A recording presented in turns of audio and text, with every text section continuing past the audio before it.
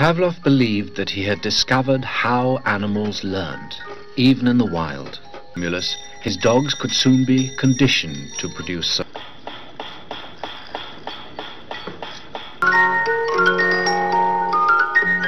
वालेकुम जी मैं हूँ लतीफ़ रहमानी और हमारी बिहेवियरिज्म स्कूल ऑफ़ थॉट की सीरीज़ चल रही है जिसके अंदर हमने आइवन पेवलव को स्टार्ट किया था आज इसका मोस्ट फ़ेमस एक्सपेरिमेंट हम देखेंगे जिसको uh, इसकी जो थेरी है या एक्सपेरिमेंट इसको क्लासिकल कंडीशनिंग भी बोला जाता है वो एक्सपेरिमेंट जिसने साइकोलॉजी uh, के अंदर लर्निंग के अंदर बिहेवियरिज्म के अंदर अपना एक बहुत uh, बड़ा इम्पैक्ट क्रिएट किया। ये एक तरह से डिस्कवरी थी जिसने बहुत ही हेल्प की लर्निंग की थेरीज़ को डेवलप करने में बिहेवियरिज्म को डेवलप करने में। तो इसको आज देखेंगे थोड़ा सा हम और कोशिश करेंगे समझने की बेसिकली एक्सपेरिमेंट है क्या था। और किस तरह से बाद में इसको, इसमें मॉडिफिकेशंस करके या डिफरेंट एक्सपेरिमेंट किए गए, वो थोड़ा सा इसका देखेंगे हम। तो स्टार्ट करते हैं जी। और अगर आपने ये पहले वाली वीडियोस नहीं देखी इसकी तो behaviourism school of thought behaviourism की मैंने प्लेलिस्ट बनाई हुई है तो वहाँ पर जाके आप देख सकते हैं। लिंक भी मैं डिस्क्रिप्शन में इसका दे दूँगा।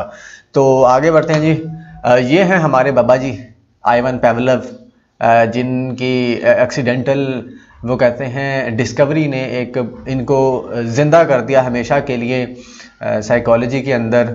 जब तक साइकोलॉजी पढ़ते रहेंगे बिहेवियरिज्म को पढ़ते रहेंगे या लर्निंग को पढ़ते रहेंगे या कंडीशनिंग को पढ़ते रहेंगे तो बाबा जी को हम याद रखेंगे। ठीक है जी। बाज़ दफ़ा ना ये एक्सीडेंटली इनको, इन्होंने डिस्कवर किया था, बाज़ दफ़ा ये आपको इनाम मिल जाता है कुदरत की तरफ़ से ना। इनकी अगर आप लाइफ पढ़ें ना, इनकी बायोग्राफी पढ़ें तो बहुत ही अजीब सी इनकी बायोग्राफी है, यानी कि गुर्बत में इन्होंने ज़िंदगी गुजारी है और खाने पीने का भी इनको होश नहीं होता था काम में बहुत मगन रहते थे। पता नहीं उस लगन की वजह से, उस काम में इंटरेस्ट की वजह से पैशन की वजह से इनको इनाम मिल गया कुदरत की वजह से। कि ये इतनी बड़ी डिस्कवरी हो गई। जिस तरह से वो पेंसिलिन की डिस्कवरी हुई थी ना, वो भी एक्सीडेंटली हुई थी। तो वो पेंसिलिन की डिस्कवरी हुई है तो वो आज तक देख लें उस बंदे को याद रखा जा रहा है और पता नहीं कितने ही लोगों की उसने जान बचाई है उसकी डिस्कवरी ने। तो बाज़ दफ़ा कुदरत की जानब से आपको इनाम मिल जाता है आपकी लगन पैशन की वजह से इंटरेस्ट की वजह से। तो ये भी इनकी भी स्टोरी कुछ ऐसी ही है। हम इंशाल्लाह इसकी एक बाकायदा सीरीज़ स्टार्ट करेंगे, जिनमें सिर्फ़ बायोग्राफीज़ हम देखा करेंगे डिफरेंट साइकोलॉजिस्ट की। चलिए खैर, आगे बढ़ते हैं टॉपिक हमारा कुछ और है। तो इनके जो, याद रखिएगा, इनके जो थ्योरी है, उसको क्लासिकल कंडीशनिंग भी बोला जाता है तो स्टार्ट करते हैं। ये है जी स्टोरी थोड़ी सी मैं आपको जनरल वर्ड्स में बता देता हूँ बाद में फिर इसको पढ़ते हैं। ये ऐसे है कि डाइजेस्टिव सिस्टम पर काम कर रहे थे एनिमल्स के, ये फिजियोलॉजिस्ट थे बेसिकली तो जानवरों के डाइजेस्टिव सिस्टम पर काम कर रहे थे और स्लाइवा जो है प्रोडक्शन उस पर काम कर रहे थे। तो जब वो काम कर रहे थे, चूँकि जो सलाइवा प्रोड्यूस होता है, वो जब एनिमल के सामने फ़ूड रखा जाता है या उसको दिया जाता है, उस वक्त हम, ये नेचुरल है, इंसानों में भी, जानवरों में भी, कि जब फ़ूड उसके सामने आता है या खाना आता है तो पानी आ जाता है मुँह में ना सलाइवा क्रिएट हो जाता है प्रोड्यूस हो जाता है। तो ये भी इसी तरह उस पर कर रहे थे एक्सपेरिमेंट तो एक्सपेरिमेंट करते करते उसने देखा, वो खाना दिया उसने, पहली दफ़ा तो सलाइवा क्रिएट हुआ नेचुरल था, ठीक है? ये नेचुरल उसका रिफ्लेक्स था। उसके बाद उसके बाद क्या हुआ कि उसने नोट किया, अचानक उसने ये उसको ये पता चला, उसने ऑब्ज़र्व किया कि यार अभी खाना दे, पहले ऐसा होता था कि खाना देने से स्लाइवा क्रिएट होता था और ये पैवलव भी यही यही समझता था कि यार खाना देंगे, मुँह में जाएगा तो ही स्लाइवा क्रिएट होगा ना।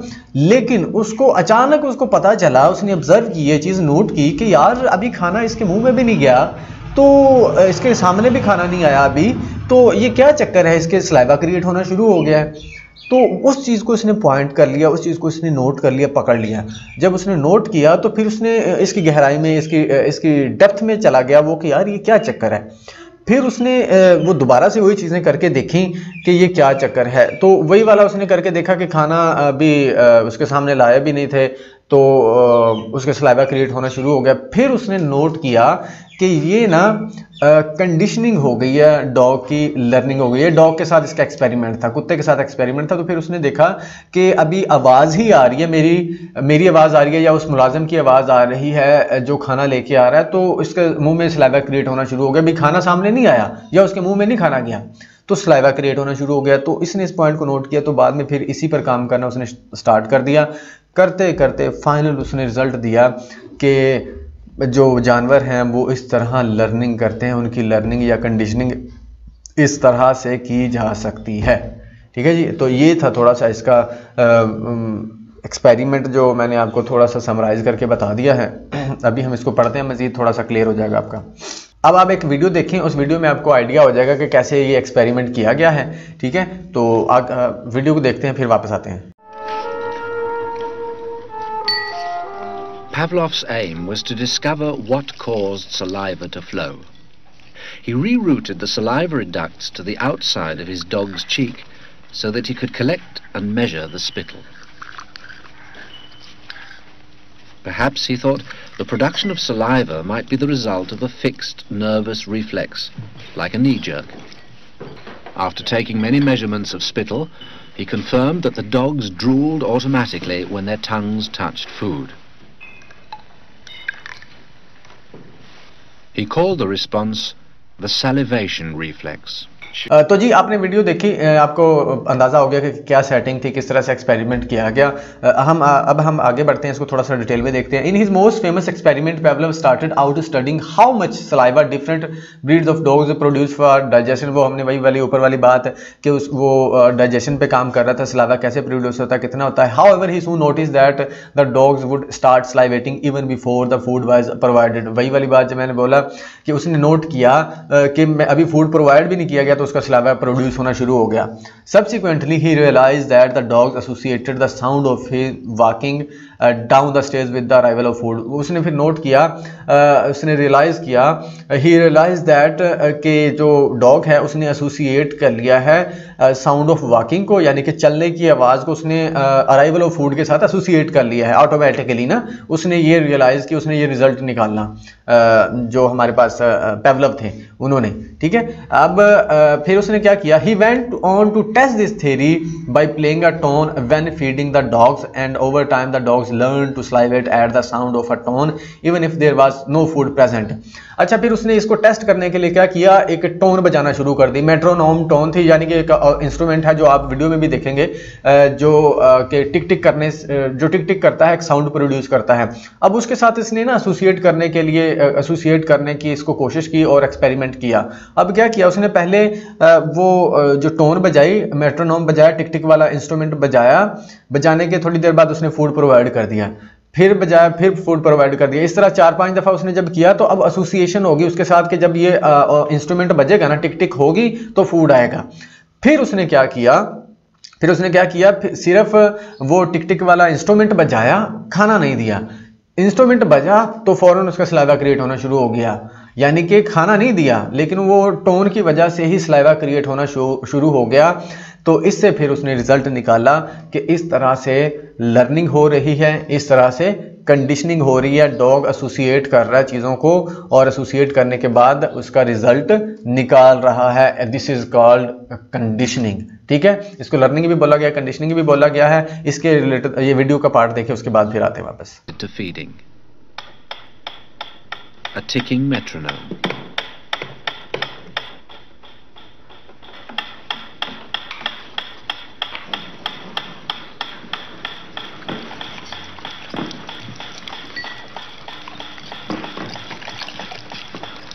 At first, the dog dripped saliva into its cheek tube only when the food appeared. But after a number of trials, the dog began to connect the ticking with the arrival of meat.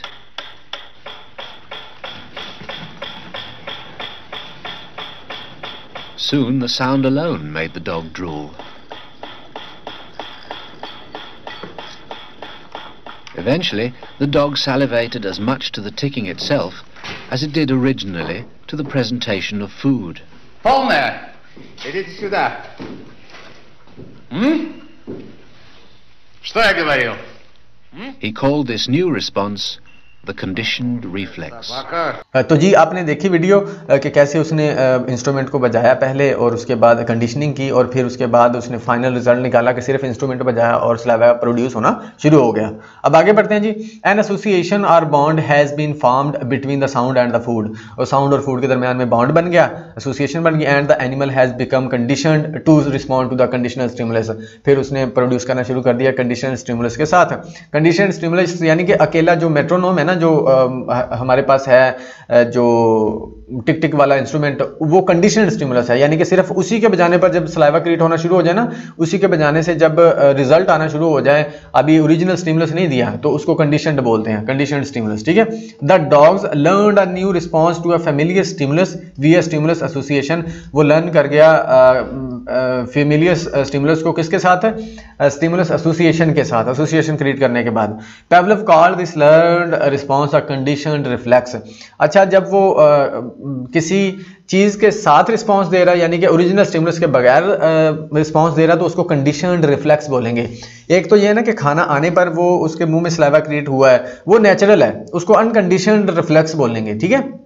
वो natural है, लेकिन खाने की जगह उसके साथ किसी चीज़ की एसोसिएशन हो जाए, जैसे हमने यहाँ टिक टिक वाला इंस्ट्रूमेंट मेट्रोनोम है जो उसकी एसोसिएशन की है उसके बजने पर ही जो स्लेवा प्रोड्यूस होना शुरू हो जाए, उसको कंडीशन रिफ्लेक्स बोलेंगे। ये याद रखिएगा, इसमें डिफरेंस आगे बढ़ते हैं जी।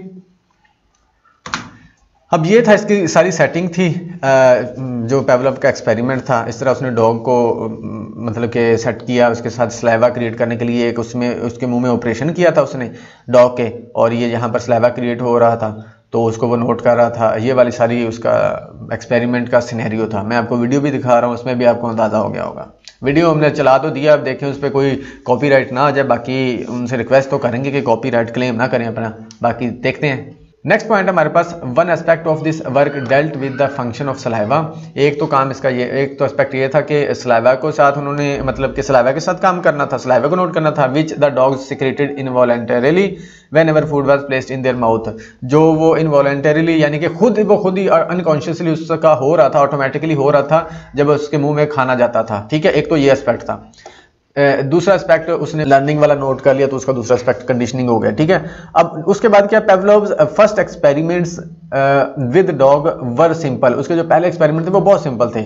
He held a piece of bread in his hand and uh, showed it to the dog before giving it to the animal to eat simple uh, experiment यानी कि उसने पहले हाथ में वो ब्रेड पकड़ा और उसको सिर्फ़ दिखाया डॉग को ना उसको खा देने से पहले उसने दिखाया the dogs response of salivating when food is placed in its mouth is a natural reflexive response of the digestive system जब उसके मुँह में खा, खाना जाता है ना तो वो उसका जो रिस्पॉन्स होता है ना स्लाइवा क्रिएट करना, वो नेचुरल है। उसको नेचुरल रिफ्लेक्सिव रिस्पॉन्स बोला गया है उसके डाइजेस्टिव सिस्टम का, ठीक है?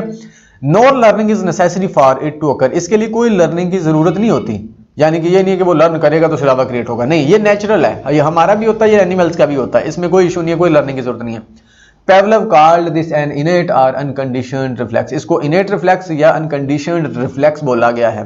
ठीक है? इसको इनेट या अनकंडीशनड रिफ्लेक्स बोला गया है, जैसे मैंने ऊपर बताया, अगर तो वो जो हमारा स्टिमुलस है, जो ओरिजिनल स्टिमुलस के बगैर जिसके साथ हमने एसोसिएट किया, उसके बजाने से रिस्पॉन्स आ रहा है तो वो कंडीशन रिस्पॉन्स कंडीशन रिफ्लेक्स है।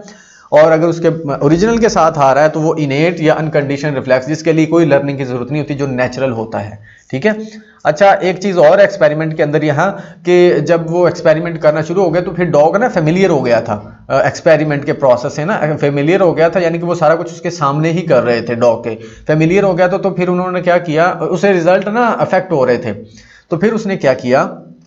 फिर उसने ये किया कि एक और तरह से उसने सेटिंग की सेटिंग करने के बाद उसने यानी कि डॉग के सामने उसने नहीं रखी चीज़ें डॉग के सामने काम सारा नहीं किया उसने उसको एक उसके सामने दीवार सी खड़ी कर दी और दीवार के पीछे से सारा प्रोसेस कर रहा था। तो इस तरह से उसने बाइसनेस या जो इफ़ेक्ट हो रहा था एक्सपेरिमेंट उस उसको बचाया। ठीक है? वो भी आप वीडियो में देख लें। But his work started to run into trouble. As his dogs became familiar with the experimental routine, They started to fill their cheek tubes before Pavlov had a chance to stimulate their tongues. The dogs were learning to anticipate food. Pavlov tried a new technique. He erected screens so that the dogs couldn't see what was going on. Before passing meat through the hatch, he introduced a stimulus that was totally unrelated. तो जी आपने देखा कि किस तरह से ये उसने मतलब कि बाइसनेस होने से या रिजल्ट्स अफेक्ट होने से बचाया खुद को ठीक है आगे बढ़ते हैं Pavlov research is regarded as the first to explore the theory of classical conditioning ये classical conditioning है discovery थी ठीक है that stimuli cause responses जिसमें स्टिमुलर क्या करता है? रिस्पॉन्स की वजह बनता है। And that the brain can associate stimuli together to learn new response जिसमें ब्रेन क्या करता है? एसोसिएट करता है स्टिमुलस को नई रिस्पॉन्सेज सीखने के लिए। यानी कि लर्निंग हो जाती है कंडीशनिंग हो जाती है, वो एसोसिएट कर लेते हैं। ठीक है? In this way we gave the stimulus in this way he gave the stimulus response association theory उसने स्टिमुलस रिस्पॉन्स एसोसिएशन थेरी दी। यानी कि एक स्टिमुलस होगा, फिर उसका रिस्पॉन्स आएगा। ठीक है? इन दोनों के दरमियान में एसोसिएशन होगी तो फिर जाके उसका रिस्पॉन्स आ रहा होता है। इसको स्टिमुलस रिस्पॉन्स एसोसिएशन थेरी बोला जाता है। आगे बढ़ते हैं। Pavlov and his assistants discovered that many stimuli would uh, produce the conditioned salivary response in laboratory animals. उसने कहा जी बहुत से स्टिमुलस ये क्रिएट कर रहे होते हैं जो रिस्पॉन्स है as long as a stimulus was capable of attracting the animal animals attention without arousing anger and fear और वो तमाम, वो कहता है, बहुत से स्टिमुलस ये क्रिएट कर सकते हैं रिस्पॉन्स लेकिन ये वही वाले स्टिमुलस करेंगे रिस्पॉन्स या रिज़ल्ट प्रोड्यूस जो इस काबिल हैं कि एनिमल को अट्रैक्ट कर सकें, उनकी अटेंशन को ग्रैब कर सकें, ना कि उनको गुस्सा या उनको खौफजदा करें। गुस्सा और खौफ खौफजदा करने वाले स्टिमुलस से वो रिस्पॉन्स क्रिएट नहीं करेंगे। हाँ अगर वो उसकी अटेंशन ग्रैब कर लेते हैं तो वो क्रिएट करेंगे। ये छोटी छोटी चीज़ें आपको नोट करनी चाहिए ताकि आपके इंटरव्यू और टेस्ट के पॉइंट ऑफ़ व्यू से आप इनको प्रिपेयर कर सकें और शॉर्ट क्वेश्चन के पॉइंट ऑफ़ व्यू से भी, ठीक है? तो ये भी इंपॉर्टेंट चीज़ थी। अब आ जाते हैं वो उसने कौन कौन सी, जब उसने ये डिस्कवर कर लिया, फिर उसने मुख्तलिफ़ एक्सपेरिमेंट किए, मुख्तलिफ़ चीज़ों को आजमाया उसने। क्या किया? They tested buzzers lights whistles tones bubbling water and ticking metronome with the dogs and achieved similar results उसने ये डिफरेंट तमाम डिफरेंट चीज़ें देखी जो वीडियो में भी आपको नज़र आ रही होंगी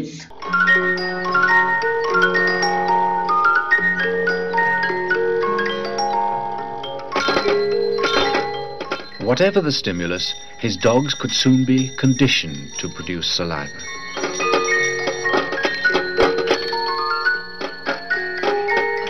तमाम डिफरेंट चीज़ें देखी उसने आ, देखने के बाद फिर उसने सिमिलर रिज़ल्ट उसको आ, मिले तो उसने ये फिर बता दिया कि ये कंडीशनिंग है वाकई ही लर्निंग हो रही है। बाज़ दफ़ा होता है ना कि किसी पर्टिकुलर चीज़ के इतफाक़न हो गया या इंसिडेंटली हो गया तो वो हर जगह पे उसको जनरलाइज नहीं किया जा सकता। लेकिन फिर इसने जनरलाइज करके देखा कि ये चीज़ वाकई ही एग्जिस्ट करती है या नहीं। फिर उसने डिफरेंट चीज़ें जैसे जैसे यहाँ पर बताया गया है उनको आजमाया। तो ये याद रखिएगा कुछ जो बुक्स हैं उसमें लिखा हुआ है कि उसने अपने पैरों की आवाज़ से उसको कंडीशन कर, हो करते हुए देखा कुछ कह रहे कि उसने बेल बजाई कुछ कह रहे कुछ कुछ अच्छा ये बहुत सारी चीज़ें हैं इसमें।